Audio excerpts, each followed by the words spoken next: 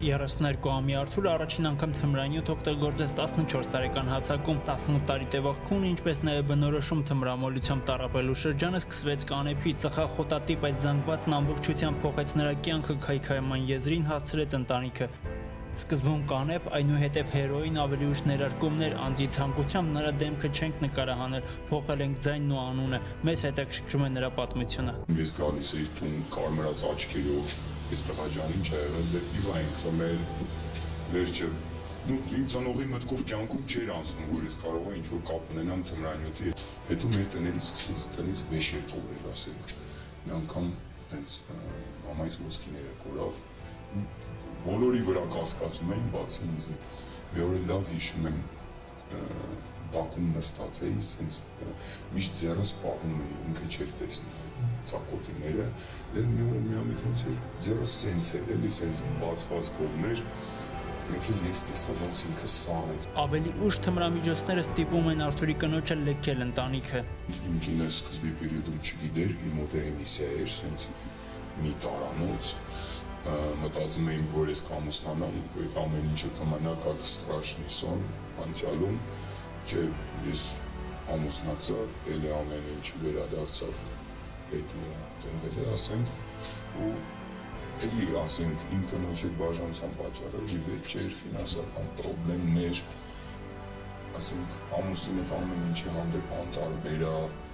ես ինքնի աշխարհով ապրում, մտածում առավոտ որպես փոխարկիչ որ ասենք երեկոյան երկրորդ օրը նույն փուլը սկսվում է։ Նարկոլոգիական հանրապետական կենտրոնում այս պահին հիվանդանոցային պայմաններում բուժվում են 6 անձ, փոխարինող բուժման ծրագրում 265 հոգի։ Կենտրոնի բուժական գծով փոխտնօրեն Այսիա Գրիգորյանի փոխանցմամբ 2015 թվականի դեկտեմբերի 1-ի դրությամբ հանրապետությունում 5357 անձ է տառապում թմրամոլությամբ, որոնցից 2132-ը ափոնային թմրամոլներն են,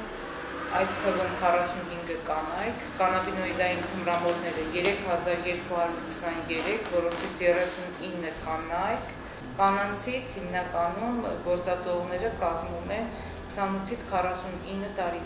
տարեկան տարիքային խումբը։ Կենտրոնի հաշվարկներով հանրապետությունում 2009 թվականին ընդամենը եղել է 1686 թմրամոլ։ Ինչից է ամեն ինչ սկսվում, ինչու են մարդիկ նախընտրում թմրանյութ օգտագործել։ Առողջապահության ազգային ինստիտուտի կատարած հետազոտությունները թմրանյութ օգտագործած դատապարտյալների շրջանում ցույց են տվել, որ ոչ թե սոցիալ-հոգեբանական, այլ անձնական դրդապատճառներով են մարդիկ գնում այս քայլին։ Մարդիկ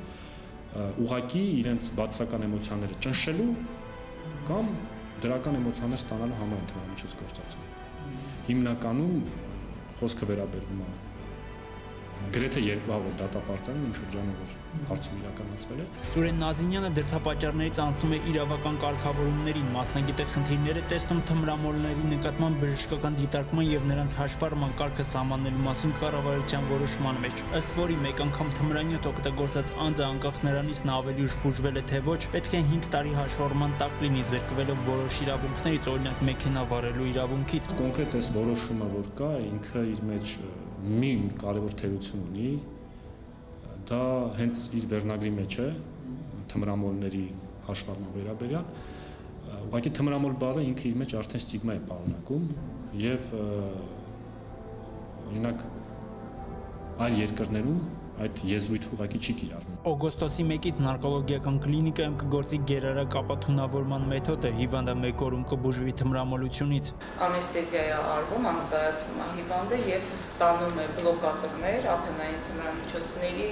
բլոկատորներ մեկ օրում օրգանիզմը ձերբազատվում է թմրամիջոցներից առանց ցավային սինդրոմ։ Իսկ Արթուրի խոսքերով անկախ նրանից թե ինչպես են նախատեսում բուժել թմրամոլին, լավագույն մեթոդը մեկն է։ Ամեն մարդ պետք է ինքը իա դնոյին հասնի, սենց ասած էլի, որ դրանից ենքում կամ մահանա, կամ ես չգիտեմ ես։